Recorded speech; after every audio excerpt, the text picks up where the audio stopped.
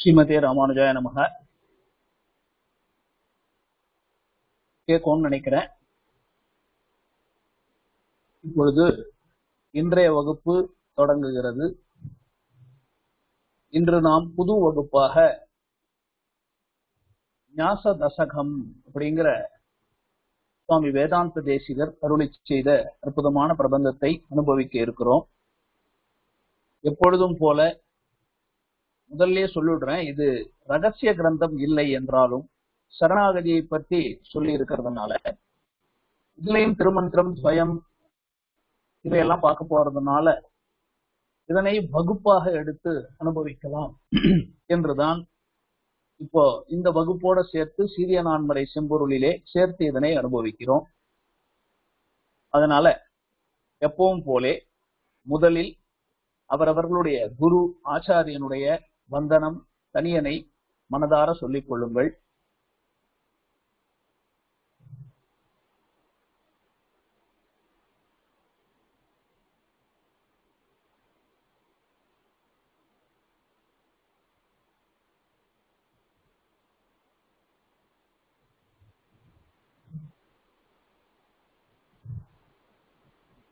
பொதுத்தனியன் அவரவர்கள் இருந்த இடத்துல இருந்தே அடியனோட சேர்ந்து பொதுத்தனியனையும் சொல்லிக்கோங்க. ஸ்ரீசைலேச தயாபாத்திரம் தீபக்தியாதி உணார்ணவம் யதீந்திர பிரவணம் வந்தே ரம்யஜாமாதரம் முனிம்.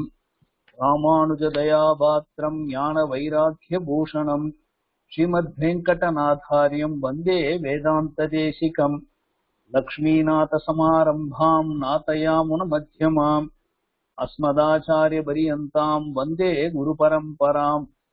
वो नित्यमच्युतपदाम्बुजयुग्मरुक्मव्यामोहतस्ततितराणि तृणाय मेने अस्मद्गुरोर्भगवतोऽस्य दयैकसिन्धो। रामानुजस्य चरणौ चरणम् प्रबध्ये। मातापिता युवदयस्तनया विभूतिः सर्वम् यथेव नियमेन मदन्वयानाम्। आद्यस्य न कुलपतेर्वकुलाभिरामम्। श्रीमत्ततङ्ग्रियुहुलम् प्रणमामि मूर्ध्नः भूतम् सरस्य महताह्वयभट्टनाद श्रीभक्तिसारकुलशेखरयोगिवाहान्।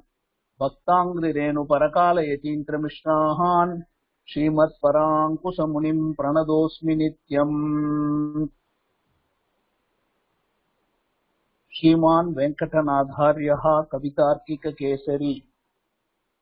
வேதாந்தாச்சாரிய வரியோமே சந்நிதத்தாம் சதாகிருதி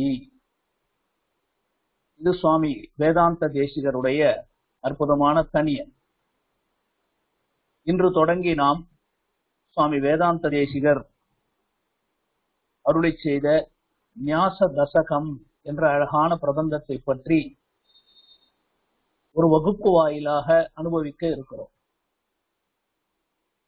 சரி. பிரபந்தத்தை நமக்கு அருளி செய்தவர் சுவாமி வேதாந்த தேசிகர். நாம இருக்கிறது புரட்டாசி மாசம். புரட்டாசி மாசம்னு சொன்னாலே திருவேங்கடமுடையான் ஸ்ரீனிவாசனுக்கு மிகவும் ஏற்றமான மாசம். அதோடு மட்டுமல்லாமல் அதே புரட்டாசி மாசத்திலே திரு ஓண நட்சத்திரத்திலே அவதரித்தவர்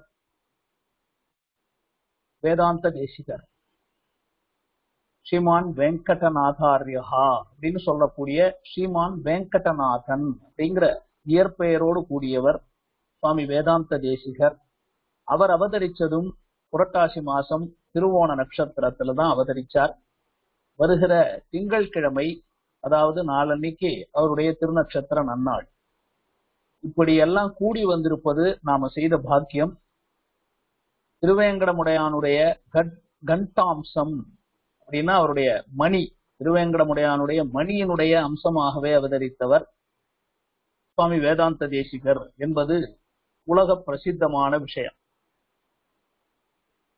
நம்முடைய குரு பரம்பரையிலே ஆழ்வார்களுக்கு பிறகு ஆச்சாரியார்களுக்குள்ளே நாதமுனிகள் தொடக்கமாக பல ஆச்சாரியார்கள் இருந்திருக்கிறார்கள். அந்த ஆச்சாரியார்களை ராமானுஜர் காலம் வரையில ஒரு வகையாக பிரித்து கொள்ளலாம். அவர்கள் அனைவருமே பலவிதமான உபதேசங்களை செய்திருக்கிறார்கள். அது மட்டுமல்லாமல் பல கிரந்தங்கள் புத்தகங்களை நமக்காக கொடுத்து சென்றிருக்கிறார்கள். நாதமுனிகள் அருளி செய்த புத்தகங்கள் அவ்வளவாக நமக்கு கிடைப்பதில்லை. நமக்கு கிடைக்கிற முதல் ஸ்தோத்திர புத்தகம் என்றால் ஆளவந்தார் அருளி செய்த ஸ்தோத்திர ரத்னம். என்ற நூல் தான் நமக்கு கிடைக்க பெறுகிறது அவருடைய காலத்துல தான் அவர் சதுஸ்லோகி என்று பிராட்டியை பற்றியும் எழுதியிருக்கிறார். இருந்தாலும் நமக்கு முதல்ல ரகசியத்ரய விவரணமாக அப்படின்னா ரொம்ப ரகசியமான திருமந்திரம் துவயம் சரமஸ்லோகம் போன்ற ரகசியத்ரய விவரணமான நூல்கள் வெளியானது முதலில் பராசர பட்டர் தான் அருளி செய்தார் அப்படின்னு கீழே பார்த்திருக்கோம். இந்த பராசர பட்டர் அருளி செய்ததுதான் அஷ்டஸ்லோகி அப்படின்னு அதை வகுப்பு மூலமாக நாம் நிதானமாக கேட்டு முடித்திருக்கிறோம். அந்த பராசர பட்டருடைய திருத்தந்தையாராக இருந்தவர் அவர் ஸ்தோத்திர கிரந்தங்களை கூறத்தாழ்வான் பஞ்சஸ்தவம் என்று ஸ்தோத்திர கிரந்தங்களை அவரும் அருளி செய்திருக்கிறார். பராசர பட்டருக்கு பிறகு எம்பார் நஞ்சியர் நம்பிள்ளை வடக்கு திருவீதி பிள்ளை இவர்களெல்லாம் ஆழ்வார்களுடைய பாடல்கள் அதற்கு வியாக்கியானம் செய்வதிலே மிகவும் ஊற்றத்தோடு இருந்தார்கள். பெரியவாச்சான் பிள்ளை அனைத்து நாலாயிரம் திவ்ய பிரபந்தங்களுக்கும் ராமாயணத்துக்கு தனி ஸ்லோக வியாக்கியானம் என்றெல்லாம் செய்திருந்தாலும் அவரும் மாணிக்க மாலை போன்ற சில ரகசிய கிரந்தங்களை அருளி செய்ததாக நாம் கேள்விப்படுகிறோம். இவர்களையெல்லாம் கடந்து நாம கடைசியாக அனுபவித்த வகுப்புகளிலே பிள்ளை லோகாச்சாரியார் என்று அஷ்டாதச ரகசியங்கள். வெறுமனே பதினெட்டு ரகசிய கிரந்தங்களை மட்டுமே மக்களுக்கு குழப்பம் இல்லாமல் கொடுக்க வேண்டும். வேறு ஸ்தோத்திரமோ வேறு காவியம் நாடகம் இல்லாமல் வெறுமனே அவர்களுக்கு தேவையானது என்னவோ அதைத்தான் கொடுக்க வேண்டும் என்று கொடுத்தவர் சுவாமி பிள்ளை லோகாச்சாரியார். லோகாச்சாரியாய குரவே கிருஷ்ணபாதசிய சூனவே சம்சார போகி சந்தஷ்ட ஜீவ ஜீவாத்தவே நமகா என்று பிள்ளை லோகாச்சாரியாருடைய சில கிரந்தங்களை நாம் அனுபவித்தோம். நவவித சம்பந்தம் நவரத்ன மாலை போன்ற கிரந்தங்களை எல்லாம் வகுப்புகள் வகுப்பு வாயிலாக ரகசிய கிரந்தங்கள் சிலவற்றை அனுபவித்தோம். இப்பொழுது அவர் வாழ்ந்த காலத்திலே அவருக்கு இளையவராக கிட்டத்தட்ட ஒரு ஐம்பது வயசு வித்தியாசத்துல அவதரித்தவர் சுவாமி வேதாந்த தேசிகர். அந்த வேதாந்த தேசிகர் நூற்றுக்கும் மேற்பட்ட பிரமாணங்களை நமக்கு கிரந்தங்களை கொடுத்திருக்கிறார். கிட்டத்தட்ட நூத்தி மூன்று கிரந்தங்கள் அவருடைய வாழ்நாளிலே சுவாமி வேதாந்த தேசிகர் நமக்காக அருளி செய்து சென்றிருக்கிறார். அவர்தான் தான் செய்த பல கிரந்தங்களை எப்படி பிரிக்கலாம் எப்படி அனுபவிக்கலாம் அப்படிங்கிறத நாம இன்றைய அனுபவிக்க இருக்கிறோம். ஏன்னா ஞாச தசகம் என்பது சரணாகதியை பற்றிய ஒரு எளிமையான நூல். சரணாகதி அப்படின்னு நம்ம சொல்றோம் இல்லையா? பிரபத்தி சரணாகதி. அதை பற்றின ஒரு எளிமையான நூல் தான் ஞாச தசகம் பத்தே ஸ்லோகங்கள். அதை தான் அனுபவிக்க இருக்கிறோம். நாம அதை அனுபவிக்கணும் அப்படின்னாலும் முதலிலே அந்த ஆச்சாரியன் சுவாமி வேதாந்த தேசிகரை பற்றி கொஞ்சம் தெரிந்து கொள்ளுவோம். இப்பொழுது அவரை பற்றிய என்னென்ன பெருமைகள் இருக்கு என்பதை உங்களோடு பகிர்ந்து கொள்ளுகிறேன். நிதானமாக கதாபாகமாக இருக்கும் நன்றாக கேட்டு தெரிந்து கொள்ளுங்கள். நாம எல்லாருமே தெரிந்து கொள்ள வேண்டிய விஷயம்தான் இது. வேதாந்த தேசிகர் அருளி செய்த ஞாச தசகம் என்ற இந்த கிரந்தத்தை தான் நாம பார்க்க போகிறோம். ஸ்ரீமான் வெங்கடநாதாரியா கவிதார்க்கிக கேசரி வேதாந்தாச்சாரிய வரியோமே சந்நிதத்தாம் சதாகிருதி. இதுதான் பிரதானமான தனியன் சுவாமிக்கு. இதனுடைய பொருள் என்னன்னு பார்த்துருவோமா? ஸ்ரீமான் அப்படின்னா கைங்கரிய செல்வம் பொருந்தியவரான வெங்கடநாதாரியகா வேங்கடநாதன் என்ற பெயர் பெற்றவராய் கவித கவிதா தர்க்கிக கேசரி. அது பிரிச்சுக்கணும். கவிதார்க்கிக கேசரின்னா கவிதை தர்க்கம். தர்க்கம்னு சொல்றோம் இல்லையா? தர்க்கம் நியாயம் மீமாம்சை அப்படின்னு சொல்றோம் இல்லையா? அப்ப தர்க்கம். தர்க்கம்னு சொன்னா வாதிடுதல்.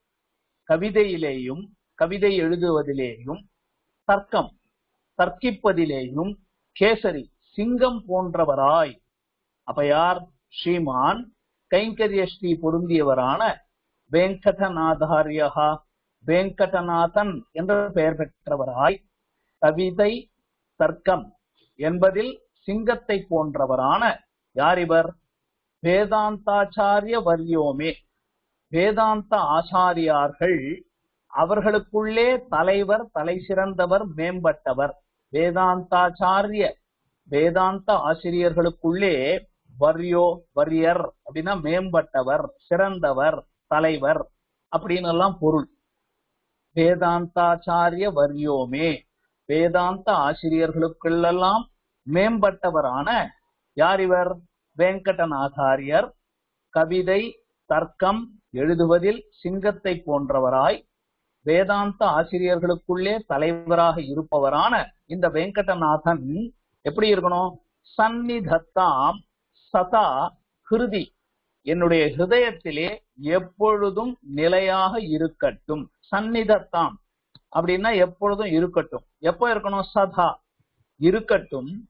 சந்நிதி. அப்படின்னா என்னுடைய இதயத்திலே எப்பொழுதும் சந்நிதி கொண்டிருக்கட்டும். அப்படின்னா நம்ம மனசுல நீங்காமல் சுவாமி வெங்கடநாதன் வேதாந்த தேசிகர் கவிதை தர்க்கம் இதிலே சிங்கம் போன்றவராய் வேதாந்த ஆசிரியர்களுக்குள்ளே தலைவரானவர்.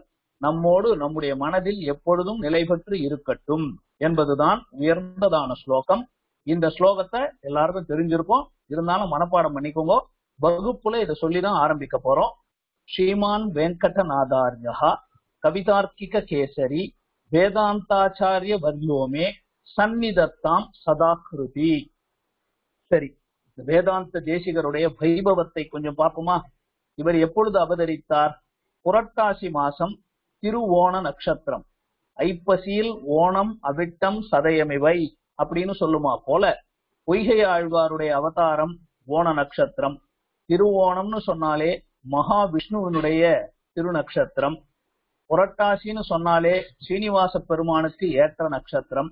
அப்ப உயர்ந்த புரட்டாசி மாசத்திலே புரட்டாசி மாசத்திலே ஓண நட்சத்திரத்துல அவதரித்தவர் தான் சுவாமி வேதாந்த தேசிகர். எங்கு அவதரித்தார்? திருத்தன்கா திருத்தன்கா. திருத்தன்கா என்றால் தங்கல் அப்படின்னு சொன்னா தப்பு. அது ஸ்ரீவில்லிபுத்தூர் பக்கத்துல இருக்கக்கூடிய இடம். தங்கல்னு பேர். திருத்தன்கா. தன்கா கான்னா சோலை தன்னுனா குளிர்ந்த. திருத்தன்கா அப்படின்னா காஞ்சிபுரத்திற்கு அருகிலே இருக்கக்கூடிய விளக்குழி எம்பெருமான் சந்நிதி தீப பிரகாசர் சந்நிதின்னு சொல்லுவார்கள்.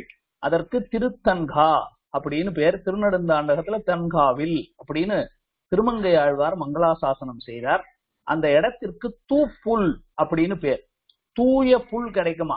தூய புல். தூய புல்னா நமக்கு வேண்டிய எல்லாருக்கும் நம்ம தர்பைகள்னு சொல்றோம் இல்லையா? கைங்கரியங்களுக்கு யாக யஜ்யங்களுக்கு தேவைப்படுற தூய புல். அந்த தர்பைகள் கிடைக்கிற இடம் அதனால அதுக்கு தூப்புல்னு அந்த இடத்துக்கு பேர். தீப பிரகாசருடைய சந்நிதி தமிழ விளக்குழி எம்பெருமான்னு பேர். திருத்தன்கா என்ற திவ்ய கஷேத்திரம் காஞ்சிபுரத்திலே தொண்டை மண்டல திவ்ய தேசத்துக்குள்ள காஞ்சிபுரத்துல இருக்கக்கூடிய இந்த இடத்துலதான் அவதரித்தார். அவர் அவதரித்த வருடம் இப்போதைக்கு ஆங்கில வருடம் கணக்குல பார்த்தோம்னா ஆயிரத்து இருநூற்று அறுபத்தி எட்டாம் வருடம். அவர் அவதரிச்சது ஆயிரத்தி இருநூற்று அறுபத்தி எட்டாம் வருடம். அவர் வாழ்ந்த காலம் ஆயிரத்து முன்னூற்று எழுபது எழுபத்தொன்னு. கிட்டத்தட்ட நூத்தி இரண்டு சம்பத்சரங்கள் நூத்தி இரண்டு வருடங்கள் சுவாமி வேதாந்த தேசிகர் இந்த பூலகத்திலே நமக்காக வாழ்ந்திருந்திருக்கிறார். அப்ப அவதரிச்ச காலம் ஆயிரத்தி இருநூற்று அறுபத்தி எட்டு. நல்லா ஞாபகம் வச்சுக்கணும். சரி யாருக்கு பிறந்தார்?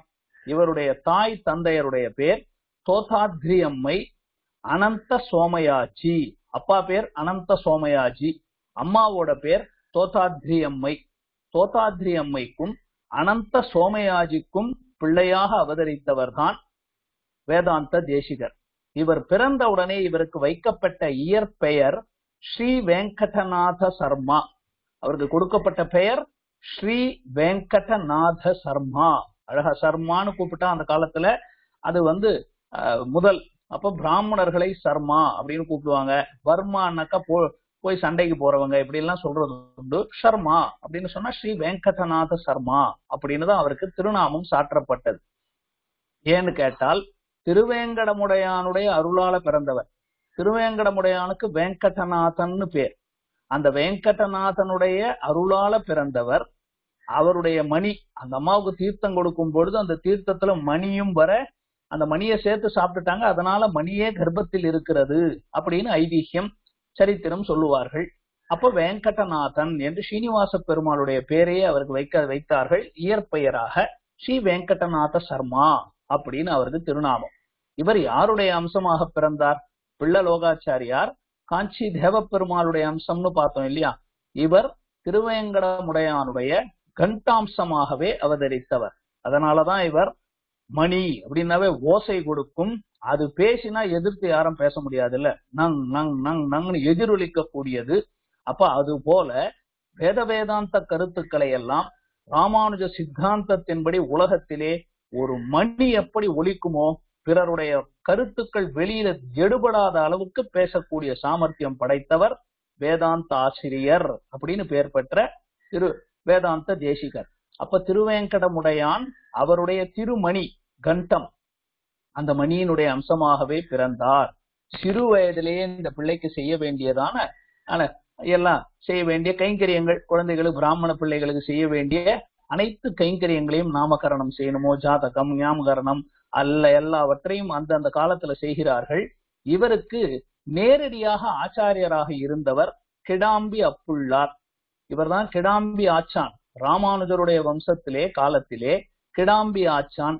திருக்குறுகை பிரான் பிள்ளான் ராமானுஜருடைய பிள்ளை மாதிரியா இருந்தவர் இல்லையா? திருக்குறுகை பிரான் பிள்ளான். முதல்ல ஆறாயிரப்படி வியாக்கியானம் அவர் தான் எழுதினார்னு பார்த்திருப்போம். அந்த வம்சத்துலதான் அடுத்தபடியாக அந்த வழி. அந்த வம்சத்துல அந்த ஓரான் வழியில அந்த பக்கமா பார்த்தோம்னா அதுல கிடாம்பி ஆச்சான். கிடாம்பி ஆப்சானுடைய அந்த வம்சத்துல கிடாம்பி அப்புள்ளார் அப்படின்னு இருந்தார்.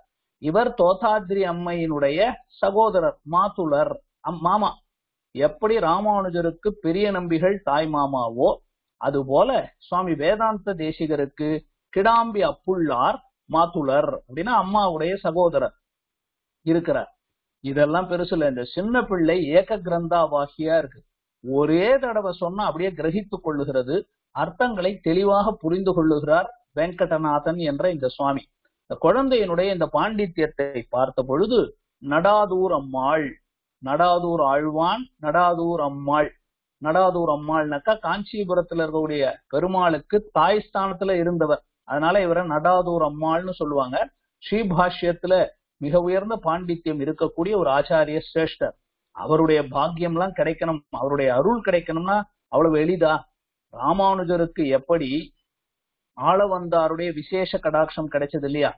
ராமானுஜர் கரியமாணிக்க பெருமாள் சந்நிதி அப்படின்னு ஒரு சந்நிதியில காஞ்சிபுரத்துல ஆளவந்தார் வந்து திருக்கச்சி நம்பிகள் காட்டுறார். அதோ வராரு அவர் தான் ராமானுஜர்னு காட்ட அவரை பார்த்து தன்னுடைய கண்களால பூர்ணமா கடாட்சித்து ஆம் முதல்வன் அப்படின்னு கடாட்சிச்சார் இல்லையா? அதே போலத்தான் நடாதூர் அம்மாள் புள்ளார் இந்த வெங்கடநாதன் என்ற பிள்ளையை அழைச்சுக்கிட்டு வரார். அவருடைய பாண்டித்யம் அந்த குழந்தை புரிஞ்சுக்கிறது பேசுறது அதெல்லாம் பார்த்த உடனே அன்னைக்கு அதே போல நடாதூர் அம்மாள் இவரையும் பார்த்து ஆம் முதல்வன். அந்த குழந்தைக்கு அப்ப நாலஞ்சு வயசுதான் இருக்கும். அவருடைய அந்த பாண்டித்யத்துவை பார்த்து வித்வத்துவத்தை பார்த்து இந்த குழந்தையினுடைய ஞானத்தை பார்த்து ஆம் முதல்வன் இவன் அப்படின்னு நடாதூர் அம்மாளாலேயே விசேஷ கடாட்சம் செய்யப்பட்டவர் தான் இந்த வேதாந்த தேசிகர். இவர் இருபது நட்சத்திரம் திருநக்ஷத்திரம் அவருக்கு இருபது வயசுக்குள்ள எல்லா சாஸ்திரங்களையும் அதிகரிச்சுட்டார். வேத வேதாந்த கருத்துக்கள் இவருக்கு நேரடியா குருவா இருந்தவர் கிடாம்பி அப்புள்ளார் தான். அவருடைய மாத்துலர் கிடாம்பி அப்புள்ளார் இடத்துல இருந்து அனைத்து சாஸ்திரங்களையும் அதிகரித்தார் அப்படின்னா நல்ல முறையாக பயின்றார்னு அர்த்தம். இருபது திருநக்ஷத்திரங்கள் நன்னா எல்லா வேத வேதாந்த சாஸ்திர கருத்துக்கள் அனைத்தையும் நன்றாக அதிகரித்து விட்டார். இவருக்கு திருக்கல்யாணமும் நடைபெற்றது. நல்ல திருமணம் செய்து வைக்கப்பட்டது. திருமணம் ஆன உடனே இப்ப இவர் முதல் இவருடைய சரித்திரத்துல முக்கியமான சில கருத்துக்களை தான் பாக்குறோம் அங்க இருந்து முதல்ல திவ்யதேச யாத்திரையா போகணும் அப்படின்னு திருவைந்திரபுரம் தேவநாகன் தெய்வநாயகன் அப்படின்னு பெருமாள் இருக்கல தேவநாத பெருமாள் தேவநாதன். திருவைந்திரபுரம் கடலூருக்கு பக்கத்துல இருக்கக்கூடிய திவ்யக்ஷேத்திரம். அந்த திருவைந்திரபுரத்துக்கு போறார். இவர் போகும்போது இவருக்கு வைனதேய மந்திரம் நன்னா தெரியும். சிறுவயதுல இவருக்கு வைனத்தேய மந்திரம் சொல்லிக் கொடுக்கப்பட்டபடியால வைனத்தேயன் அப்படின்னா கருடன். வைனத்தேய மந்திரம்னா கருடனை பற்றிய மந்திரம். இப்போ நீங்க திருவைந்திரபுரம் கோயிலுக்கு போனீங்கன்னா எதிரில் ஒரு மலை இருக்கும். அந்த மலைக்கு மேல போனீங்கன்னா அங்க ஹயக்ரீவர் சந்நிதி வைனத்தேயனுக்கு சந்நிதி இதெல்லாம் பார்க்கலாம். பல சரித்திரங்கள் நடந்த இடம் தேசிகருக்கும் திருவைந்திரபுரத்துக்கும் தொடர்பு அதிகமாக இருக்கக்கூடிய இடம். அந்த திருவைந்திரபுரத்துக்கு தான் முதல்ல போறார். அங்க போன உடனே வைனத்தேய மந்திரத்தை ஆவருத்தி சொல்றார். எங்க உட்கார்ந்து கருடன் பக்கத்துல இருந்து சொல்றார். வைனதேயன்னா கருடன். கருடனை குறித்து மந்திரங்களை சொல்ல சொல்ல கருடன் அவருக்கு ஹயக்ரீவ மந்திரத்தை உபதேசம் பண்றார். ஹயக்ரீவர் ஹயக்ரீவர்னா பரிமுகத்தான். குதிரை முகத்தோட இருக்கக்கூடியவர்களே ஹயக்ரீவர். ஹயக்ரீவ மந்திரத்தை கருட பகவான் தான் சுவாமி வேதாந்த தேசிகருக்கு உபதேசம் பண்றார். அந்த உ- உபதேசத்தை பெற்று அந்த ஹயக்ரீவ மந்திரத்தை உபாசனை செய்கிறார் வெங்கடநாதன். தான் இருந்த இடத்துல இருந்தே விடாம ஹயக்ரீவ மந்திரத்தை அந்த மலை மேல உட்கார்ந்து கொண்டு விடாம அவர் ஆவர்த்தி சொல்லிக்கொண்டே இருக்க ஹயக்ரீவரே இவருக்கு பிரத்யட்சமானார் பரிமுகத்தான் குதிரை வடிவோடு இருக்கக்கூடிய பகவான் அவரே இவருக்கு நேரடியாக ஹயக்ரீவர் வேதாந்த தேசிகருக்கு பிரத்யட்சமாகி காட்சி கொடுத்து இவருடைய வாக்கிலே அமிர்தத்தை ஊட்டி அனுகிரகம் செய்தார். உனக்கு இன்னும் நல்ல வாக்கு சாதுரியம் கிடைக்கட்டும். அப்படின்னு ஞானத்துக்கு அதிபதியான தேவதை தான் ஹயக்ரீவர். அப்ப அதே தேவதை வாக்கிலே அப்படின்னா வேதாந்த தேசிகருடைய வாக்கிலே அமிர்தத்தை ஊட்டி அனுகிரகம் செய்கிறார். இனிமே என்ன? அப்பொழுதுதான் கிரந்தங்கள் வெளிவர ஆரம்பிக்கின்றன. என்னைக்கு துருவனுக்கு பகவான் அவனுடைய கன்னத்தை தன்னுடைய பாஞ்சஜன்யத்தால தடவி கொடுத்தாரோ அன்னைக்கு ஸ்தோத்திரம் பாட ஆரம்பிச்சார். அதே போல வெங்கடநாதரான இவருக்கு ஹயக்ரீவ பெருமாள் வாக்குல அமிர்தத்தை ஊட்ட அன்னைக்கு பாட ஆரம்பிச்சதுதான் இவருடைய வித்வத்து பாண்டித்யம் உலகம் முழுக்க பரவ ஆரம்பித்தது. அதே திருவைந்திரபுரத்துல இருந்துதான் முதல்ல ஹயக்ரீவருக்கு ஒரு ஸ்தோத்திரத்தை பாடுறார். அப்பப்போ கிரந்தத்தை சொல்றேன் கடைசியில திரும்பி பார்ப்போம். ஹயக்ரீவ ஸ்தோத்திரம் அப்படின்னு ஹயக்ரீவருக்கு உயர்ந்த ஸ்தோத்திரத்தை பாடுறார். கருடன் தானே இவ்வளவு தூரம் அவருக்கு அனுகிரகம் பண்ணார்? அதனால கருட பஞ்சாசத் அப்படின்னு அஞ்சு பத்து ஐம்பது. கருடனை குறித்து கருட பஞ்சாசத் அப்படின்னு உயர்ந்த ஒரு கிரந்தத்தை அனுகிரகிக்கிறார். அதே இடத்துல தானே தேவநாயகன் இருக்கான் பகவான். அதனால அங்க இருக்கக்கூடிய தேவநாயக பெருமாள் தேவநாயக பஞ்சாசத் அப்படின்னு அங்க இருக்கக்கூடிய தேவநாயக பெருமாளுக்கு பஞ்சாசத்னு ஸ்தோத்திரத்தை கொண்டாடுகிறார். அதே தேவநாத பெருமாளுக்கு பிராகிருத பாஷை சமஸ்கிருத பாஷை நாம படிக்கிறது இந்த கிரந்தங்கள்ல இருக்கிற பாஷை வேற. அதையே வீட்டுல பேசிக்கிட்டா பெண்கள் பேசினா எப்படி இருக்கும்? அப்ப பெண்கள் பேசுற அந்த பாஷைக்கு பிராகிருத பாஷைன்னு பேர். பிராகிருத பாஷையிலே அச்சுத சதகம் அதே தேவநாயகன் எம்பெருமான். இப்ப இதெல்லாம் நடக்கிறது எங்க? திருவைந்திரபுரத்துல நடந்தது. திருவைந்திரபுரத்திலே ஹயக்ரீவருடைய அனுகிரகத்தை பெற்ற உடனே அப்பவே இவ்வளவு காரியங்களை பண்றார். ஹயக்ரீவ ஸ்தோத்திரம் கருட பஞ்சாசத்து தேவநாயக பஞ்சாசத்து அச்சுத சதகம் அது பிராகிருத பாஷைன்னு ஞாபகம் வச்சுக்கோங்க. கோபால விம்சதி. கோபால விம்சத்தின்னா கிருஷ்ணன். அந்த பகவான் அவரை குறித்து அழகான இருபது ஸ்லோகங்கள். ராமருக்கு மகாவீர வைபவம். அதனுடைய உண்மையான பேர் மகாவீர வைபவம் தான். இன்னைக்கு நாம் அதனை ரகுவீர கத்தியம் ரகுவீர கத்தியம் அப்படின்னு கத்தியமாக கத்தியம்னாக்கா உரைநடை பேச்சு போல இருக்கும் இல்லையா? கத்தியம். அப்ப ரகுவீர கத்தியம் மகாவீர வைபவம். அப்ப ராமருக்காக ஒண்ணு கிருஷ்ணருக்காக ஒண்ணு தேவநாத பெருமாளுக்காக ரெண்டு கருடனுக்காக ஒன்று ஹயக்ரீவருக்காக ஒன்று எத்தனை கிரந்தங்கள்? அங்கதான் இது ஆரம்பித்து எல்லா பிரமாணங்கள் வெளிவர ஆரம்பித்தன. சரி அங்க இருந்து நேரா திருக்கோவலூருக்கு போறார். திருவகீந்திரபுரத்துல இருந்து திருக்கோவலூருக்கு நோக்கி செல்லுகிறார் இடைகளி எம்பெருமான். அங்கதான் உயர்ந்த திருவிக்கிரமனாக உலகத்தை அளந்த திருக்கோலத்துல உலகளந்த பெருமாளாக முதலாழ்வார்கள் மூவருக்கும் தன்னை காட்டிக் கொடுத்தவனான எம்பெருமான். அவனை குறித்து அந்த திருக்கோவலூர்ல தேகலீச ஸ்துதி. அந்த பெருமாளுக்கே தேகலீசன்னு பேர் இல்லையா? தேகலீசன்னா இடைகழி எம்பெருமான். தேகலீச ஸ்துதி. உயர்ந்ததான கிரந்தம் அதுலதான் எழுதுறார். தேகலீச ஸ்துதியில ஒரு முக்கியமான கருத்து வருகிறது. மூன்று ஆழ்வார்கள் தான் மூன்று கரும்பு ஆலை போல. நம்மெல்லாம் அந்த கரும்பு ஜூஸ் பிழிவாங்க பாத்திருக்கீங்களா மூணு ரோலர் மாதிரி இருக்கும். அந்த மூன்று ரோலருக்கு நடுவுல கரும்பு அப்படி கொடுத்து எடுத்தாங்கன்னா கீழே அப்படியே ஜூஸ் வந்துடும் அது போல மூன்று ஆழ்வார்களுக்கு இடையில ஸ்ரீமன் நாராயணன் ஆகிற தேகலீசன் எம்பெருமான் சிக்கி கொள்ள அப்படி கிடைச்சவன் தான் இன்னைக்கு நாம சேவிக்கிற பகவான் அப்படின்னு கொண்டாடுறோம் இல்லையா? அதெல்லாம் அங்க வரக்கூடியது தேகலீச ஸ்துதி அப்படின்னு திருக்கோவலூர்ல போறார் பெருமானை சேவிக்கிறார். இடைகழி எம்பெருமான் முதலாழ்வார்கள் இங்கத்தான் வந்து கூடியிருந்து அழக பகவானை அனுபவித்தார்கள். புலவர் நெருப்புகந்த பெருமான் அப்படிங்கறதெல்லாம் ஞாபகம் வர அந்த இடத்துல தேகலீச ஸ்துதி அப்படிங்கறதை அருளி செய்தார். அங்கிருந்து நேரா காஞ்சிபுரத்துக்கு திருப்பி வரார் அப்படியே ஒரு டிராவல் பண்ணணும். திருவைந்திரபுரம்னா ஏதோ ஒரு நாள் போல ரொம்ப நாள் தங்கி இருந்தாருன்னு அர்த்தம். அங்க இருந்து திருப்பி திரு கோவலூர்ல கொஞ்ச நாள் இருந்தார். அங்க இருந்து திருக்கட்சி திரும்பவும் காஞ்சிபுரத்துக்கு வரார். காஞ்சிபுரத்துல வேதாந்த விஷயங்களை எல்லாம் தர்க்கிக்கிறார். யார் வந்தாலும் ஜெயிக்கிறார். அவரை யாராலையும் ஜெயிக்க முடியல. இவர் பெரிய வேதாந்த ஆசிரியராக எந்த ஒரு வாதப்போர் வந்தாலும் ஸ்ரீ ராமானுஜ சித்தாந்தத்தை தெளிவாக நிலைநிறுத்தி கொண்டு நல்ல வேதாந்த காலக்ஷேபங்களை செய்து கொண்டு திருக்கட்சி என்ற காஞ்சிபுரத்திலே வாழ்ந்து வருகிறார். சுவாமி வேதாந்த தேசிகர். அப்ப அவர் எழுதின சில கிரந்தங்களை பட்டியலிட்டு இருக்கிறேன் அப்படியே கவனமா கேளுங்கோ. மகாலட்சுமி தாயார் தான் அங்க பெருந்தேவி தாயார்னு சொல்றோம் இல்லையா? அங்க காஞ்சிபுரத்துல இருக்கக்கூடிய பெருமாளுக்கு பேரருளாளன்னு பேர் பேர் அருளாளன் தாயாருக்கு பேர் பெருந்தேவி தாயார். மகாதேவ்யேஷ வித்மகே விஷ்ணு பத்னீச்ச தீமகி தன்னோ லக்ஷ்மி பிரச்சோதயாத்னு சொல்றோம். பெருந்தேவி தாயார்னு அந்த தாயாருக்கு பேர். அந்த தாயாரை குறித்து ஸ்ரீ ஸ்துதி அழகான ஸ்ரீ ஸ்துதி என்ற கிரந்தத்தை சமஸ்கிருத ஸ்லோகம் இதனை பெருந்தேவி தாயாருக்காக அருளி செய்தார். அங்கிருந்து அடுத்தது பேரருளாளன் காஞ்சி தேவப்பெருமாள் வரதராஜன் அவருக்கு பாடாம இருப்பாரா? அவருக்காக வரதராஜ பஞ்சாசத் வரதராஜ பஞ்சாசத் என்று வரதராஜ பெருமாளுக்காக ஒரு ஐம்பது ஸ்லோகங்கள் கூடின வரதராஜ பஞ்சாசத் அப்படிங்கிற உயர்ந்த கிரந்தத்தை அனுகிரகிக்கிறார். அங்கிருந்து யதோத்தகாரி சொன்ன வண்ணம் செய்த பெருமாள். எல்லாம் கேள்விப்பட்டிருக்கோம் இல்லையா? யதோ யதோத்தகாரின்னா சொன்ன வண்ணம் செய்த பெருமாள். ஏன்? பிரம்மா தவம் செய்யணும்னு ஆசைப்பட்டார்.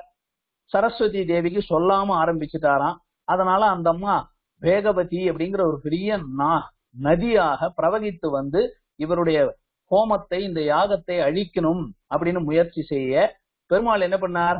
வேகா சேத்து அந்த நதிக்கு நடுவுல ஒரு அணை போல படுத்துக்கிட்டார். அந்த நதி கடந்து போக முடியலையா? அந்த படுத்து கொண்ட பெருமாள் தான் வேகா சேது அப்ப வேகவதி என்ற நதிக்கு நடுவுல அணை போல படுத்துட்டு இருக்காருல பிரிட்ஜு போல. அதனால யதோத்தகாரி சொன்ன வண்ணம் செய்த பெருமாள் அந்த பெருமாளை குறித்து வேகா சேது ஸ்தோத்திரம் என்று மிக உயர்ந்த ஸ்தோத்திரம். அந்த வேகா சேது ஸ்தோத்திரத்தை அனுகிரகித்தார். அங்கேயே பக்கத்துல போனீங்கன்னா திரு அட்டபுயகரம் அஷ்டபுயகரத்தான் எட்டு தோள்களோட கையில எட்டு ஆயுதங்களை பிடிச்சு பெருமாள் நிக்கிறார் இல்லையா? அட்டபுயகரத்தான்னு அந்த பெருமாளை பார்த்தார். அவரை பார்த்த உடனே இவருக்கு ஒரே பொங்கி வந்தது. ஸ்தோத்திரம் பாடினார். அஷ்டபுஜ அஷ்டகம். அஷ்டபுஜாஷ்டகம். அவரை பார்த்த அட்டபுயகரத்தானுக்கு அஷ்டபுஜாஷ்டகம் என்று அவருக்காக பெருமாளுக்கு உயர்ந்த ஸ்தோத்திரத்தை பாடினார். அங்கிருந்து தான் பிறந்த கஷேத்திரமான விளக்கொளி எம்பெருமான் தீப பிரகாசர் இந்த இடத்துல கவனமா கேட்டுக்கோங்க. அந்த தீக பிரகாசர் எம்பெருமானை குறித்து சரணாகதியாக ஒரு கிரந்தத்தை அருளி செய்கிறார் அதனால நம்ம நேரடியா திவ்ய தேசத்துக்குன்னு எடுத்துக்கிறத விட சரணாகதிக்குன்னு தான் எடுத்துக்கணும். அதுக்கு பேர் சரணாகதி தீபிகை. அவர் அவதரிச்ச தூப்புள் வேதாந்த தேசிகருடைய அவதார ஸ்தலமான தீப பிரகாசர் விளக்குழி எம்பெருமான் சந்நிதியில அங்க இருக்கிற பெருமாளை குறித்து தீப பிரகாசரை குறித்து ஸ்தோத்திரம் பாடினார். அந்த ஸ்தோத்திரத்துக்கு தீப பிரகாச ஸ்தோத்திரம்னு பேர் அதுக்கு சரணாகதி தீபிகை என்பதுதான் ரொம்ப முக்கியமான பேர். அப்புறம் எல்லாருக்கும் தெரியும் ஆளரி திருவேளுக்கை நரசிம்மர். நரசிம்மர் எம்பெருமான் திருவேளுக்கை என்ற திவ்யக்ஷே இதெல்லாம் காஞ்சிபுரத்திலேயே தான். திருவேளுக்கை என்ற காஞ்சிபுரம் திவ்யக்ஷேத்திரம் அங்க போனா அங்க இருக்கிற எம்பெருமானுக்கு காமாசி காஷ்டகம் இது ரொம்ப பிரபந்த ரொம்ப பிரபலமான நூல். காமாசி காஷ்டகம் அப்படின்னு உயர்ந்ததான ஒரு எட்டு ஸ்லோகங்களை கொண்ட காமாசி காஷ்டகத்தை திருவேளுக்கை நரசிம்மன் எம்பெருமானன் ஆளரி எம்பெருமானுக்காக அதனை அனுகிரகித்தார் அடுத்தபடியா திருப்புட்குழி போரேற்று நாயனார்னு பேர். அங்க ராமராக சேவை சாதிக்கிறார் இல்லையா பெருமாள். அந்த பெருமாள் இடத்துல போகிறார். அந்த விஜயராகவன் ராகவ பெருமாளுக்காக அவர் போரேற்று நாயனார் அப்படின்னு அந்த பெருமாளுக்கு பேர்.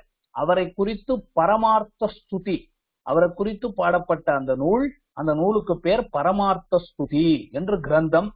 இதெல்லாம் எதுக்கு சொல்றேன்னா இது ஒன்னொன்னுக்கு எவ்வளவு அங்கேயே இந்த மாதிரி ஒரு பக்கம் வேதாந்த காலக்ஷேபம் தன்னுடைய சிஷ்யர்களுக்கு சொல்லி கொடுக்கறது தன்னுடைய பிள்ளைக்கு சொல்லி கொடுக்கறது பல காரணங்களுக்கு நடுவுல சதஸ்களுக்கு போறது வேதாந்தத்துல அஹ், தர்க்க தர்க்கித்தல் எல்லாத்துக்கும் நடுவுல இவ்வளவு காரியங்களை செய்து கொண்டு வருகிறார் பரமார்த்த ஸ்துதி மேலே. இதுக்கப்புறம் அவருடைய சரித்திர பாகத்துல கொஞ்சம் என்னன்னு பார்ப்போம். இவருக்கு வித்யாரண்யன் அப்படின்னு ஒரு நண்பன் இருந்தான். வித்யாரண்யன் அந்த பிள்ளைக்கு ரொம்ப அவன் இவருக்கு வெ- வெங்கடநாதருக்கு சிறு வயசுல படிக்கும் போது இருந்த நண்பன். அந்த பிள்ளை படிச்சு கிடிச்சு விஜயநகர ராஜாவிடத்துல போய் ரொம்ப ஃப்ரெண்ட்ஷிப் ஆயிட்டான். அந்த விஜயநகர ராஜாவினிடத்துல ரொம்ப அவர் சொன்னா கேட்பார் இவன் என்ன சொன்னாலும் இந்த வித்யாரண்யன் என்ன சொன்னாலும் அந்த விஜயநகரத்து ராஜா கேட்பார் அந்த மாதிரி இருக்கான். அவன் பார்த்தான் இவர் எதுக்கு நல்ல பாண்டித்யம் இருக்கிறவராச்சே இந்த வெங்கடநாதன்? ஏன் இவர் உட்கார்ந்து பிக்ஷையை எடுத்துக்கொண்டு இப்படி கஷ்டப்பட்டு இருக்கிறார்? இவருடைய பாண்டித்யத்துக்கு ராஜா கிட்ட இருந்தா சும்மா தங்கம் தங்கமா கொட்டுமே பணக்காரரா செல்வ சீமானா வாழலாமே அப்படின்னு சொல்லி இவரிடத்துல ஒரு பிரார்த்தனா ஸ்லோகம் ஒண்ணு எழுதி அனுப்புறான்.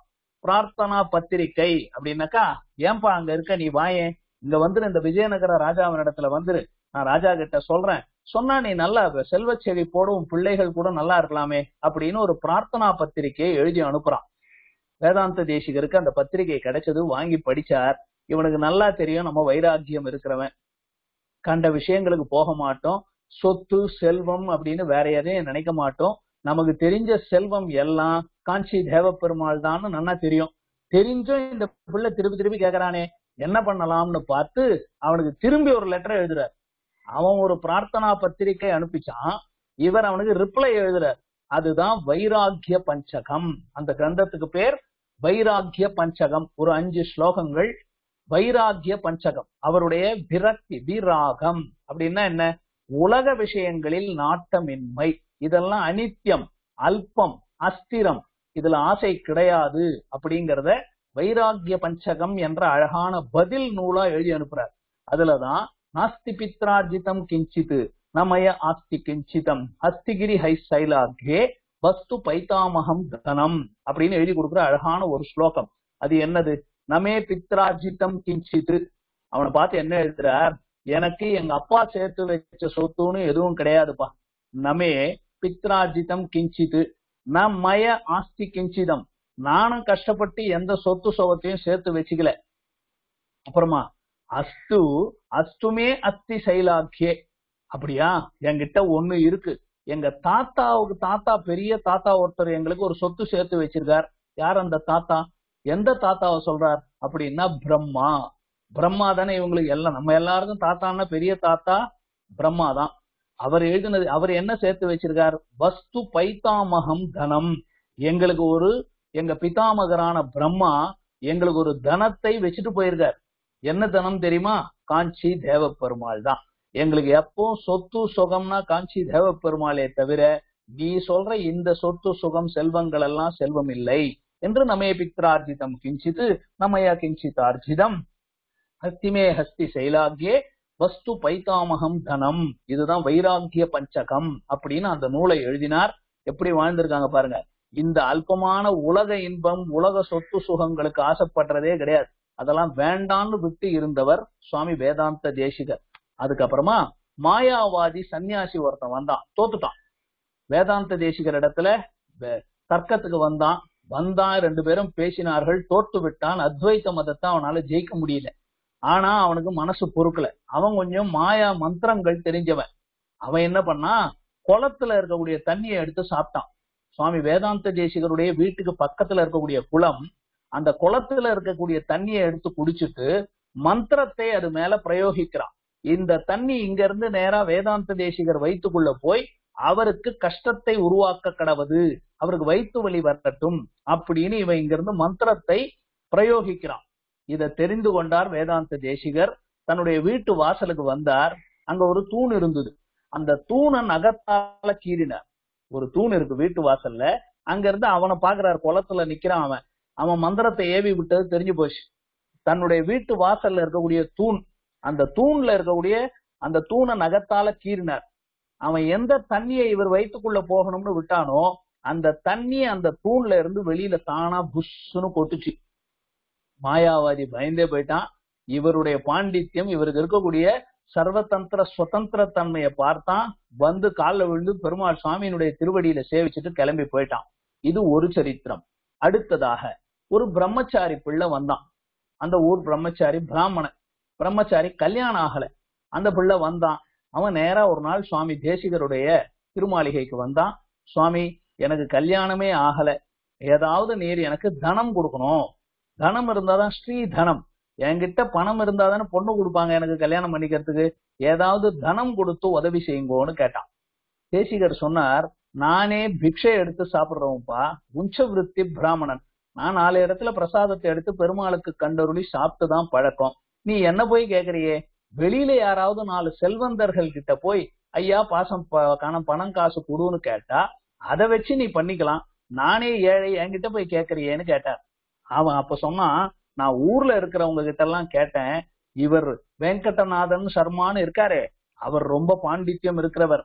அவர் தன்னுடைய சக்தியால உனக்கு நல்ல தனத்தை ஏற்பாடு செய்து கொடுப்பார் அப்படின்னு ஊர் மக்கள் எல்லாம் உங்களிடத்துல அனுப்பினார்கள்னு சொன்னார். சரி இவங்க கேலிக்கு கிண்டலுக்கு சொன்னா மாத்திரம் என்ன? நடக்கட்டும் பாப்போம் அப்படின்னு அந்த பிள்ளைய கூப்பிட்டு அவனுக்கு ஸ்ரீ ஸ்துதிய சொல்லி கொடுக்குறார். என்ன சொல்லி கொடுக்குறார்? ஸ்ரீ ஸ்துதி. முதல்ல எழுதி வச்சிருக்காருல அந்த ஸ்ரீ ஸ்துதி அந்த பிள்ளைக்கு சொல்லி கொடுத்து நீ போய் தாயார பிரதட்சணமா வந்து கொண்டு இந்த ஸ்ரீ ஸ்துதியை சொல்லி கொண்டிரு அப்படின்னு சொல்லி அனுப்பிச்சார். அந்த பிள்ளையும் ஸ்ரத்தையா போனா ஸ்ரீ ஸ்துதிய சொல்லிக் கொண்டே சுத்தி சுத்தி சுத்தி பெருந்தேவி தாயார சேவித்துக் கொண்டிருக்கிறான்.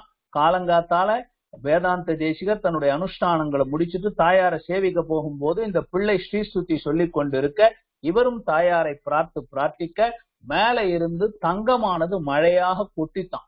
கனகதாரா கனகதாரானா தங்கம் அப்படியே அருவி போல கொட்டுச்சு. அதனால கனகதாரா ஸ்தவம்னே பேர் அதுக்கு. ஸ்ரீஸ்துதி என்று பேர். சரி இவர் கொடுத்த ஸ்ரீஸ்துதியை பாடிதானே அவனுக்கு தங்கம் கிடைச்சது? அவர் ஒரு நாலு தங்கத்தை எடுத்துக்கிட்டாரா வேதாந்த தேசிகர்னு பார்த்தா? இல்ல. அந்த பிள்ளைய பார்த்தார் தாயார் உனக்கு அனுகிரகம் பண்ணிருக்காப்பா நல்லபடியா மங்களகரமான வாழ்க்கையை நடத்துவாய். அப்படின்னு அப்படியே கிளம்பி போயிட்டார். ஒரு தங்கத்தை திரும்பி கூட பார்க்கல. அதுதான் அவருக்கு அந்த அளவுக்கு வைராகிய சிக்காமணியாக வாழ்ந்தவர் சுவாமி வேதாந்தாச்சாரியார். இது ஒரு பிரம்மச்சாரிக்கு தாயார் கொடுத்த அனுகிரகம் கனகதாரா ஸ்தவம் ஸ்ரீஸ்துதியினுடைய பெருமை. சரி. இவருக்கு ஒரு திருக்குமாரர் அவதரிச்சார். ஆவணி மாசம் ரோஹிணி நட்சத்திரத்துல ஒரு பிள்ளை பிறந்தார். அவருக்கு வரதாச்சாரியார்னு பேர். காஞ்சி தேவ பெருமாள் வரதராஜன். அதனால அவர் பேர்லயே வரதாச்சாரியார்னு பேர் வச்சார். அவருக்கு கொஞ்சம் காலமான உடனே நாயனாச்சாரியார் நயனா நாயனாராச்சாரியார்னு பேர். குமார வரதாச்சாரியார் என்றும் பேர் உண்டு. இன்னைக்கு காத்தால அடியேன். பிரதிவாதி பயங்கரம் அண்ணா அப்படிங்கிறவருடைய சரித்திரத்தை சொல்லிக் கொண்டிருந்தேன் வெங்கடேச சுப்பிரபாதம் பாடினவர். அவருக்கு இவர் தான் குரு. இந்த நாயனாராச்சாரியார் குமார வரதாச்சாரியார் தான் குருவா இருந்தார். சுவாமி வேதாந்த தேசிகர் இடத்திலேயே நல்ல சாஸ்திர விஷயங்களை எல்லாம் அபியாசம் செய்து கத்துக்கொண்டவர் அப்படின்னு பாக்குறோம் சரி அடுத்து மேல தொடர்ந்து பார்ப்போம். இந்த இவருக்கு என்னென்ன விருதுகள் கிடைச்சது? எத்தனையோ இருக்கலாம். ரங்கநாதனே இவருக்கு கொடுத்த விருதுதான் வேதாந்தாச்சாரியார். இவர் ஸ்ரீரங்கத்துல பல காலம் இருந்திருக்கார். அவருடைய அந்த வேதாந்த பாண்டித்யத்தை கொண்டு ரங்கநாதரே இவருக்கு கொடுத்த விருதுதான் வேதாந்த ஆச்சாரியன் வேதாந்தாச்சாரியார்னு பேர் கொடுத்தார். இவருக்கு பல பேர் சபையில இருந்தவர்கள் கொடுத்த பேர் கவிதார்க்கிக கேசரி. கவிதை எழுதுவதிலேயும் தர்க்கம் செய்வதிலேயும் சிங்கம் போன்றவர் என்பதனால கவிதார்க்கிக கேசரின்னு பேர். அதை விட ரங்கநாயகி தாயார் பெரிய பிராட்டியார் ஸ்ரீரங்கத்துல அந்த தாயார் தான் இவருடைய பாண்டித்யம் இவருக்கு இருக்கக்கூடிய அனைத்து விஷயங்களிலுமே இவருக்கு இருக்கக்கூடியதான அந்த ஒரு அவரை பார்த்து சொல்றேன் அவர் எதை வேணாலும் செய்யக்கூடியவர். அப்படி இருக்கக்கூடிய அந்த நிலையை பார்த்து அவருக்கு சர்வ தந்திர சுதந்திரர். எல்லாம் தெரியும். அப்படின்னா என்ன? மாஸ்டர் ஆஃப் ஆல் எல்லாம் அவருக்கு நீ இப்ப பார்க்க போறோம். கிணறு கட்ட போறார் அவர் நாடகம் எழுதுறார் கவிதை எழுதுறார் எல்லாம் செய்யறாரு எங்க இருந்து செய்யறாருன்னா ஏன்னா சர்வ தந்திர சுதந்திரர். எதையுமே தெரிந்தவர் எதையும் செய்ய வல்லவர். மாஸ்டர் ஆஃப் ஆல் அனைத்தும் தெரிஞ்சவர்னு வச்சுக்கோங்க. அது ரங்கநாயகி தாயார் இவருக்கு கொடுத்த விருதுதான் சர்வ தந்திர சுதந்திரர் அப்படின்னு பேர். அப்புறம் இன்னொரு பேர் உண்டு அவருக்கு. சமஸ்யா சஹஸ்ரீ. சமஸ்யா சஹஸ்ரீன்னு சந்தேகங்களை போக்குபவர். எந்த டவுட் எந்த சந்தேகம் போய் சொன்னாலும் அந்த சந்தேகத்தை அப்படி முடிச்சு அழுக்கிற மாதிரி கட கட அவிச்சு கொடுத்துருவார். அவருக்கு தெரியாததே இல்ல. வேத வேதாந்தங்கள்ல இருந்து உதாரணங்களை எடுத்து இந்த இடத்துல இப்படி சொல்லியிருக்கு இந்த இடத்துல இப்படி சொல்லியிருக்குன்னு நம்முடைய சந்தேகங்களை விடுவிக்க கூடியவர் இதெல்லாம் அந்த சுவாமிக்கு இருந்த விருதுகள். சரி இவருக்கு சர்வதந்திர சுதந்திரம்னு பேர் கொடுத்துட்டாங்களே பேர் கொடுத்துட்டா ஊர் மக்கள் சும்மா இருப்பாங்களா? ஏதாவது அவங்க பிரச்சனை பண்ணணுமே மக்கள் சும்மா இருக்க மாட்டாங்க இல்ல. அப்பதான் திருவைந்திபுரத்துல இது போல இருக்கும்போது ஒருத்தர் வந்தார். அவர் கிணறு கட்டக்கூடியவர். அவர் பார்த்தார் உமக்கு சர்வதந்திர சுதந்திரம்னு பேராமே. ஐயா கிணறு கட்ட தெரியுமா? அப்படின்னார். ஏன்பா வேணும்னா கட்டி கொடுக்குறேன்னார். ஏதா கட்டும் பார்க்கலாம். அப்படின்னா செங்கல்ல வச்சு அழகா கிணறே கட்டி கொடுத்தார். இன்னைக்கும் திருவைந்திரபுரம் போனோம்னா திருவைந்திரபுரத்துல வேதாந்த தேசிகராலே கட்டப்பட்ட கிணறு. யாராவது பெரிய வேத வேதாந்த கருத்துக்களை அறிந்த வித்வான் கிணறு கட்டுவாரா?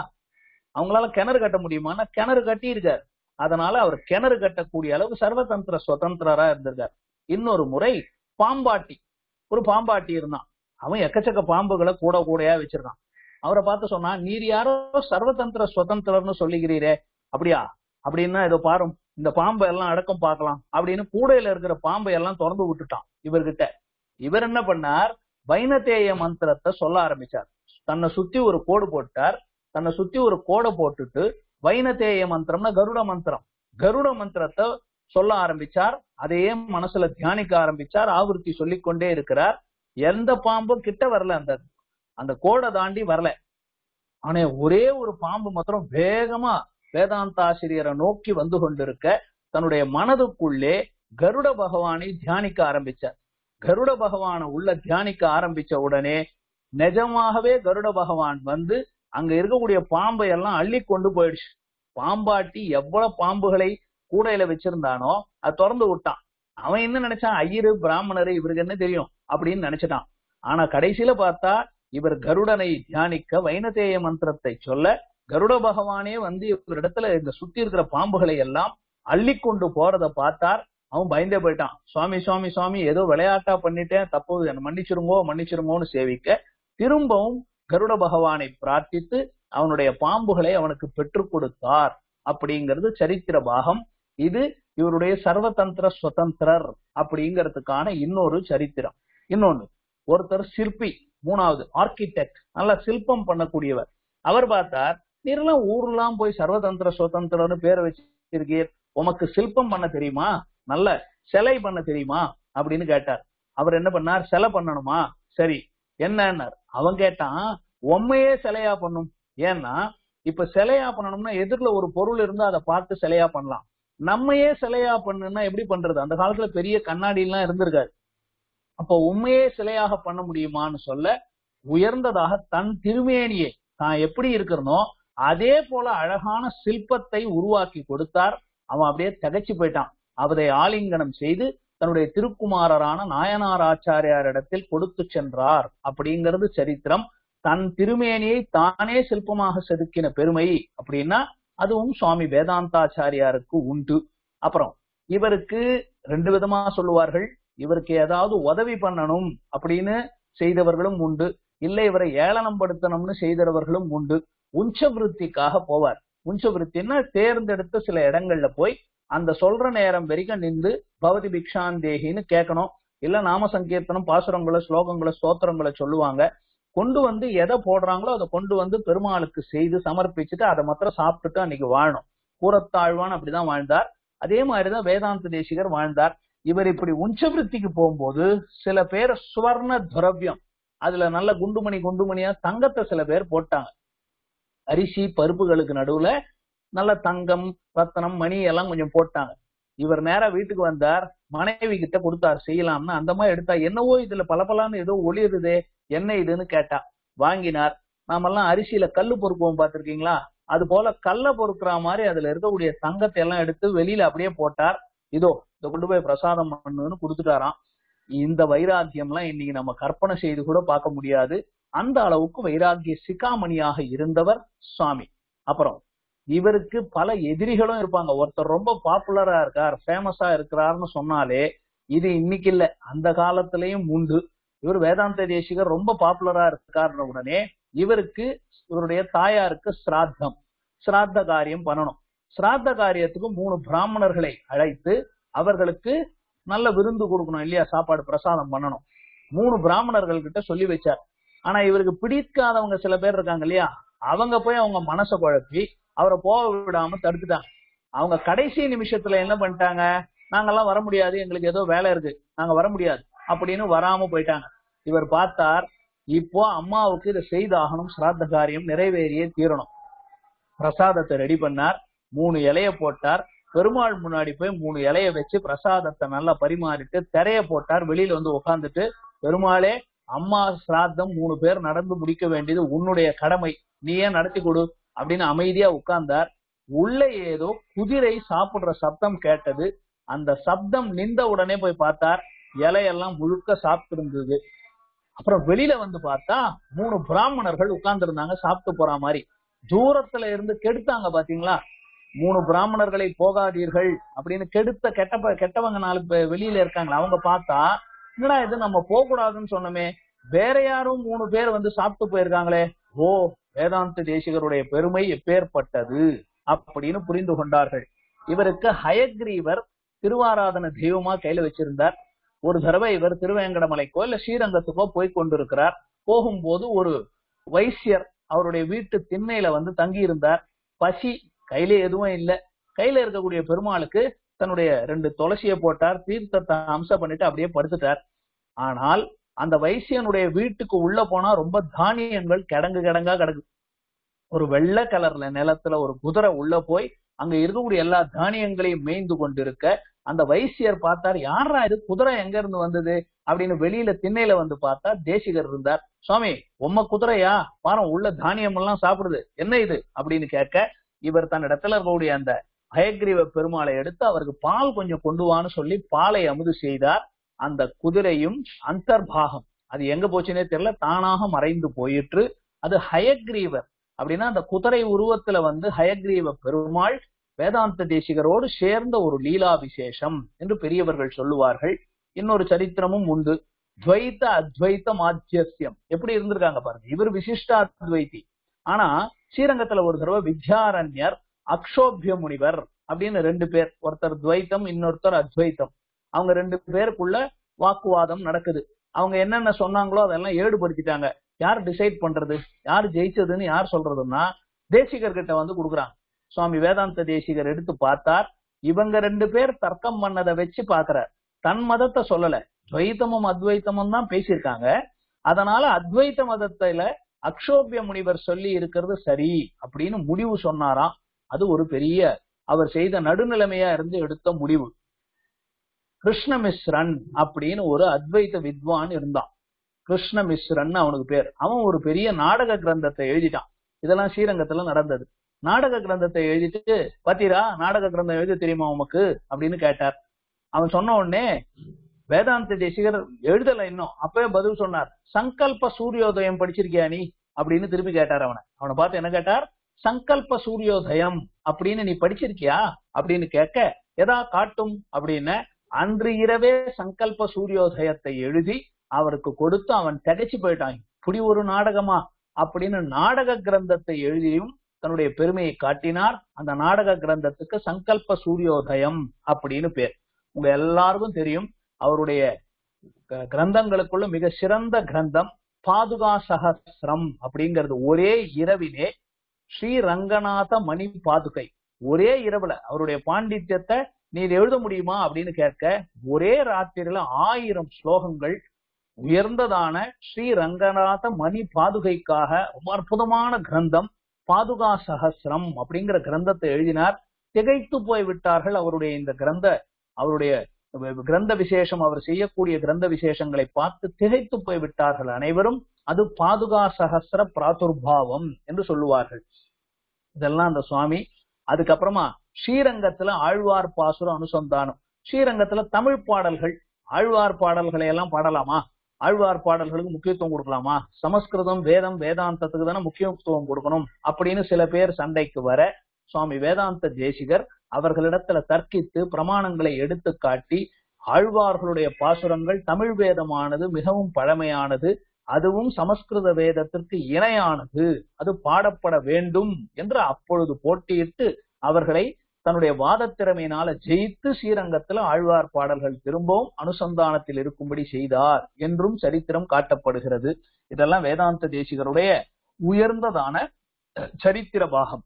அவருடைய கடைசி காலத்திலே தான் பிரமாணம் பிரமேய ரக்ஷணம்.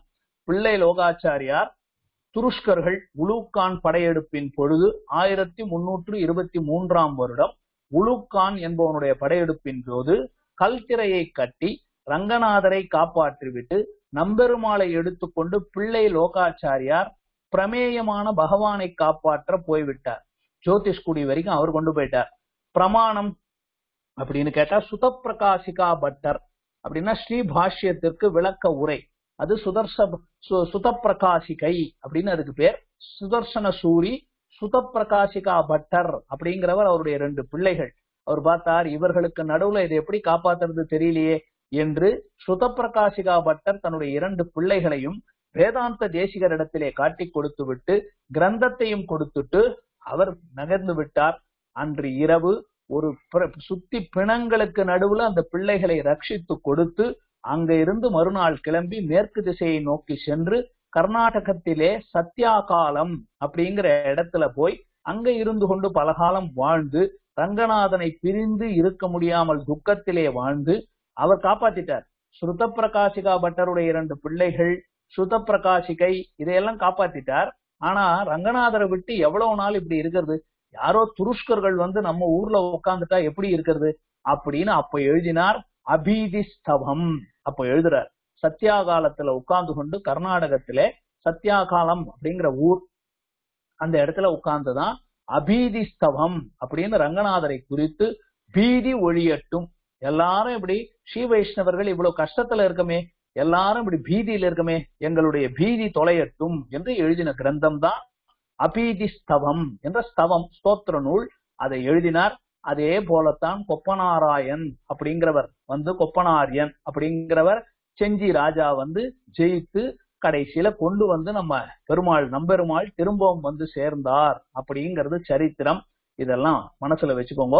இது அபீதி ஸ்தவம் அவர் எழுதினது. இது அவருடைய உயர்ந்ததான வரலாறு சரித்திர பாகத்தை ஓரளவுக்கு பார்த்தோம். அவர் என்னென்ன கிரந்தங்களை அருளி செய்தார்? இது ஒரு பத்து நிமிஷம் நீங்க நிமிர்ந்து உக்காந்து கேளுங்க. இதுதான் ரொம்ப ரொம்ப முக்கியம். நான் எல்லா கிரந்தத்தையும் எழுதல. ஆனா அதை பிரிச்சிருக்கேன். நாம ஓரளவுக்கு திகைச்சு போய் பார்க்க போறோம் பாருங்க. அவர் என்ன எழுதியிருக்காரு எவ்வளவு எழுதியிருக்கார் அப்படிங்கறத உங்களுக்காக ஒரு ஒரு கன்சைஸ் பண்ணி கொடுத்துருக்கேன் பாருங்க. முதல்ல என்ன? பல பாஷைகள்னு எடுத்துக்கலாமா? சமஸ்கிருத பாஷையில எத்தனை நூல்கள்? பிராகிருத பாஷை. பிராகிருத பாஷைனா பேச்சு சமஸ்கிருதம். வீட்டுல பேசுற மாதிரி பெண்கள் பேசுற சமஸ்கிருத பாஷை. அதுக்கு பிராகிருத பாஷைன்னு பேர். அப்புறம் தமிழ். ரொம்ப தமிழ் நூல்கள் எழுதியிருக்க. வேதாந்த தேசிகர்னா இவருக்கு சமஸ்கிருதம் தான் தெரியும். இவர் சமஸ்கிருதத்துல பாண்டித்யத்துல எழுதியிருப்பாருன்னு நினைக்கவே கூடாது. தமிழ்ல பல பிரபந்தங்கள் பண்ணியிருக்கார். மணிப்பிரவாள நடை. இது வரைக்கும் நம்ம பிள்ளை லோகாச்சாரியார்லாம் பார்த்தோம் இல்லையா? அதெல்லாம் மணிப்பிரவாள நடை. நம்முடைய பெரியவாச்சான் பிள்ளையினுடைய வியாக்கியானம்லாம் மணிப்பிரவாள நடை. மணிப்பிரவாள நடையிலையும் கிரந்தங்கள் பண்ணியிருக்கார். உதாரணத்துக்கு சொல்றேன். சமஸ்கிருத கிரந்தங்கள் எத்தனை தெரியுமா? ஐம்பது கிரந்தங்கள் பண்ணியிருக்கார். எத்தனை? மொத்தம் ஐம்பது கிரந்தங்கள் சமஸ்கிருதத்துல. அதுல பிரிக்கலாமே. சம்பிரதாய கிரந்தங்கள். பல கிரந்தங்கள் சம்பிரதாயத்தை நிரூபிக்கிறதுக்காக பண்ணியிருக்காரு சமஸ்கிருதத்துல. அது பதினைந்து கிரந்தங்கள் பண்ணியிருக்காரு. அதுல உதாரணத்துக்கு சில போட்டிருக்கேன். சததூஷினி தாத்பரிய சந்திரிகா. தாத்பரிய சந்திரிகைன்றதான் பகவத்கீதைக்கு அதுல ராமானுஜருடைய பாஷ்யத்துக்கு மேலும் விளக்க உரை. அதிகரண சாராவளி சத்ததூஷணின பரமத கண்டம் இதெல்லாம் பண்ணது. இது சம்பிரதாய கிரந்தங்கள் பதினஞ்சு பண்ணியிருக்கார் சமஸ்கிருதத்துல. கவிதை நாடகம் இப்பதானே பார்த்தோம் பல கவிதைகள் நாடகங்கள் பண்ணியிருக்கார். ஏழு பண்ணியிருக்கார். யாதவாபியுதயம் பாதுகா சகசிரம் சங்கல்ப சூரியோதயம் ஹம்ச சந்தேசம். இதெல்லாம் பாருங்க ஹம்சப்பறவைய வந்து தூது விடுறது. இப்படி இல்லாம கவிதை நாடகங்கள் எழுதியிருக்கார். அது ஏழு கிரந்தங்கள் அப்படி வந்தது. அப்புறமா ஸ்தோத்திரங்கள் கத்தியங்கள் இது தனியா பார்ப்போம். ஸ்தோத்திரங்கள் கத்தியங்கள்னா இருபத்தெட்டு பண்ணியிருக்கார். அப்ப இருபத்தெட்டு ஏழு முப்பத்தஞ்சு ஐம்பது கிரந்தம் சமஸ்கிருதத்துல இருபத்தெட்டு ஸ்தோத்திரங்கள் பண்ணியிருக்கார். அடுத்து அதை பார்க்க போறோம் என்னன்னு. அதுல இருந்து தான் நுழைய போறோம். அப்ப ஸ்தோத்திரங்கள் இருபத்தெட்டு. சமஸ்கிருதத்துல மொத்தம் எத்தனை கிரந்தம் பார்த்தோம் இப்போ? ஐம்பது கிரந்தங்கள் பண்ணியிருக்கார் சமஸ்கிருதத்திலே. இப்படி கணக்கு வைப்போமா முடிக்கட்டும். முடிச்ச உடனே சொல்றேன். பிராகிருத பாஷை கீழே பார்த்தோம். சமஸ்கிருதம் பேச்சு வழக்குல இருக்கிற சமஸ்கிருதம். பெண்கள் பேசும் சமஸ்கிருதம்னு வச்சுக்குவோம். அதுல அச்சுத சதகம் அப்படின்னு ஒரு கிரந்தத்தை பண்ணியிருக்காரு. தமிழ்ல எக்கச்சக்கமா பண்ணியிருக்கார். பதினெட்டு கிரந்தங்கள் பண்ணியிருக்கார். தமிழ் கிரந்தங்கள் பதினெட்டு கிரந்தங்கள் இருக்கு. அதுல பரமபத சோபானம் அப்படின்னா எப்படி? படிக்கட்டா எப்படி பரமபதத்துக்கு போறது? பரமபத தியான மார்க்கத்துல அடுத்தடுத்து எதை நினைக்கணும்? பரமபத சோபானம் பரமமத பரமத பங்கம். மற்ற மதங்கள் அத்வைத்தம் துவைத்த மதங்களை எப்படி அதனை அதை நிராகரிக்கிறார். எப்படி அதை அது தப்புன்னு எப்படி சொல்றார்? பரமத பங்கம் அடைக்கலப்பத்து. அடைக்கலம்னா நியாசம் சரணாகதி. அழகா இருக்கும் அந்த கிரந்தம் அடைக்கலப்பத்து. அர்த்த பஞ்சகம் திருச்சின்ன மாலை சுருக்குகள்னு போட்டேன். நீங்க எழுதிக்கணும். திருமந்திர சுருக்கு துவய சுருக்கு சரம ஸ்லோக சுருக்கு இப்படின்னு சுருக்குகள். ரொம்ப பிரீஃப் ஆனா ரொம்ப அழகா எழுதியிருப்பார். தமிழ்ல ரொம்ப அழகா எளிமையா சுருக்குகள் திருமந்திர சுருக்கு துவய சுருக்கு அப்படின்னு எல்லாம் த- தனி சரம ஸ்லோக சுருக்குன்னு எல்லாம் எழுதியிருக்கார். அப்ப தமிழ்லயே கிட்டத்தட்ட பதினெட்டு கிரந்தங்கள் நான் உதாரணத்துக்கு சிலது போட்டிருக்கேன். சுவாமி அது இல்லையா இது இல்லையான்னு கேட்க கூடாது மொத்தமா போட்டா அது படிக்கிறதுக்கே ஒரு மணி நேரம் ஆயிடும். நீங்க மீதியை நீங்க கொஞ்சம் ஹோம்ஒர்க் பண்ணுங்க. பதினெட்டு கிரந்தங்கள் தமிழ்ல பண்ணியிருக்காரு. மணிப்பிரவாள நடையில முப்பத்தி நாலு கிரந்தம். ஒரே ஒரு வியாக்கியான கிரந்தம் பண்ணியிருக்கார். இவர் எழுதின வியாக்கியானம் திருப்பானாழ்வார் அருளி செய்த அமலநாதிபிரான் அமலநாதிபிரான் என்ற திருப்பானாழ்வாருடைய பாடல்கள். அதுக்கு மாத்திரம் முனிவாகன போகம் அப்படின்னு ரொம்ப அற்புதமா இருக்கும். அடியன் அதை சொல்லி இருக்கிறேன் அது அஹ், அமலநாதிபிரான கிரந்தத்தை முழுக்க ரொம்ப அழகா டேபிள் எல்லாம் போட்டோம். நம்ம ஷேர் பண்ணி எல்லாம் அனுபவிச்சிருக்கோம். அது ரம்யா அவர்களிடத்துல சொல்லி உங்களுக்கு வேணும்னா ஷேர் பண்ண சொல்றேன். அமலநாதிபிரான் வியாக்கியான ரீதியாகவே அப்படின்னு சொல்லி இருக்கிறேன் எல்லாரும் கேட்டு அனுபவிங்கோ முனிவாகன போகமும் சேர்த்து சொல்லியிருக்காரு. அதுல ரொம்ப அற்புதமா இருக்கும். அந்த பாடல்ல எவ்வளவு தூரம் வேதாந்த கருத்துக்கள் இருக்கு அப்படிங்கறத பார்க்கலாம். முனிவாகன போகம் ரகசியத்ரய சாரம். கடைசியில ஸ்ரீமத் ரகசியத்ரய சாரம் என்பதுதான் ரகசிய கிரந்தம். அப்ப வேதாந்த தேசிகர் எழுதினதுல ரகசிய கிரந்தம் எதுன்னு கேட்டா ஸ்ரீமத் ரகசியத்ரய சாரம். அடியன்லாம் அதை சொல்றதுக்கு அருகதையே இல்லை. அது ரொம்ப உயர்ந்த கிரந்தம் ரொம்ப சமஸ்கிருதமும் இதுவும் கலந்து பிரமாணங்கள் அதிகமா இருக்கக்கூடியது. அது நல்லா பயிற்சி பெற்று பெரியவர்கள் சொல்ல கேட்க வேண்டிய விஷயம். அப்ப மணிப்பிரவாளத்துல முப்பத்தி நாலு கிரந்தங்கள். இப்போ கூட்டலாமா? சமஸ்கிருதத்துல ஐம்பது பிராகிருத பாஷையில ஒன்று தமிழ்ல பதினெட்டு மணிப்பிரவாளத்துல முப்பத்தி நாலு மொத்தமா கூட்டினீங்கன்னா நூத்தி மூன்று கிரந்தங்கள். இதை தவிர எவ்வளவோ இருக்கலாம். ஓ நம்ம ஒரு வரிசைன்னு போட்டாலே நூத்தி மூணு கிரந்தங்கள் ஒருத்தர் வாழ்நாள்ல அவர் வாழ்ந்தது நூத்தி ரெண்டு வருஷம். அப்ப வருஷத்துக்கு ஒரு கிரந்தம் வந்துகிட்டே இருந்தது போல் இருக்கு.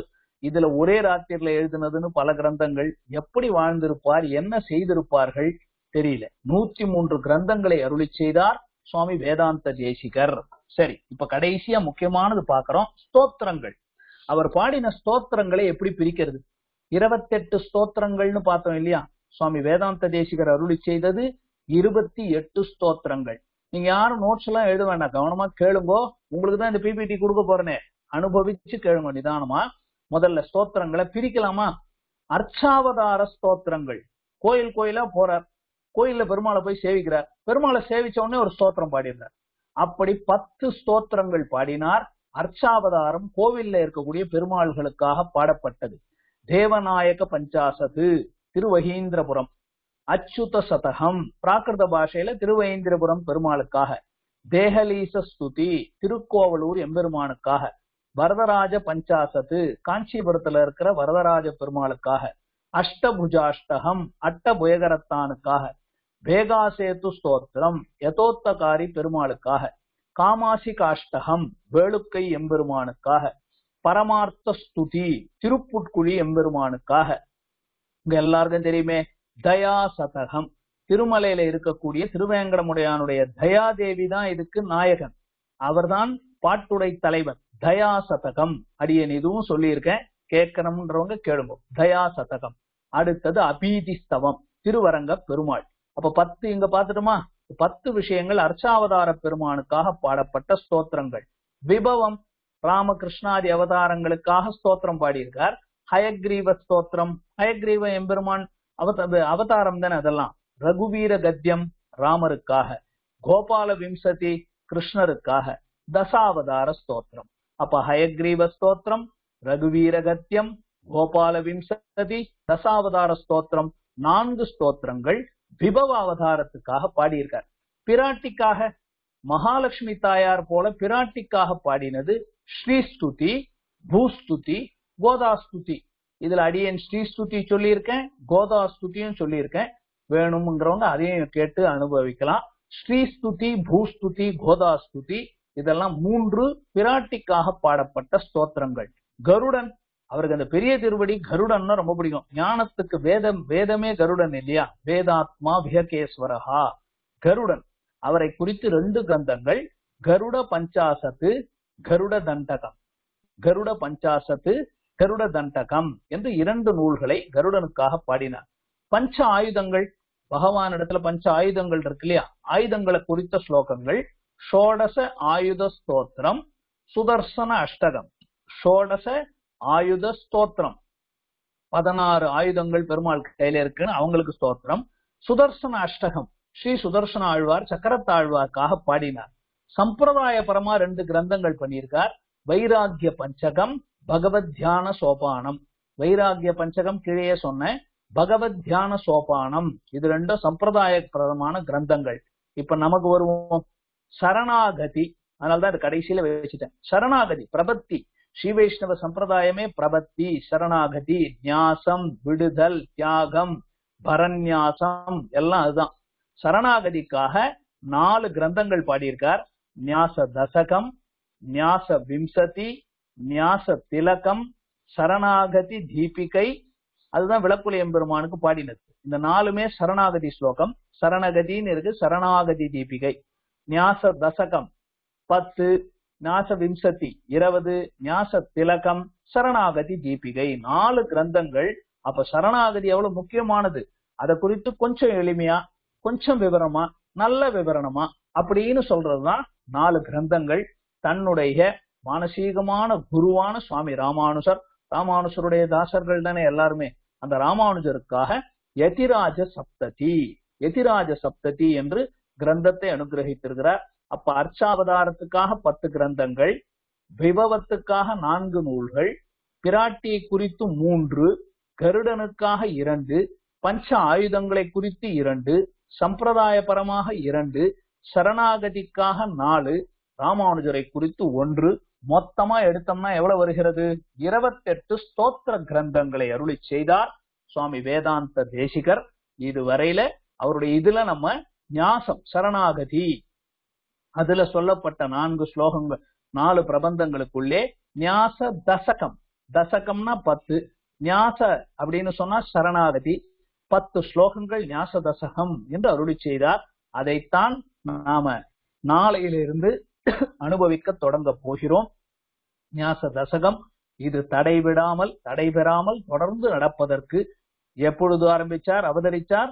புரட்டாசி மாசம் உயர்ந்த ஓண நட்சத்திரத்திலே திருவோணத்திலே அவதரித்தவரான ஸ்ரீமன் வெங்கடநாதாரியகா கவிதார்க்கிக கேசரி வேதாந்தாச்சாரிய பர்யோமே சந்நிதத்தாம் சதாகிருதி என்று சுவாமி வேதாந்த தேசிகர் காஞ்சி தேவ பெருமாள் பெருந்தேவி தாயாரை குறித்து நியாச தசகம் என்று பத்து ஸ்லோகங்களை அனுகிரகித்திருக்கிறார்.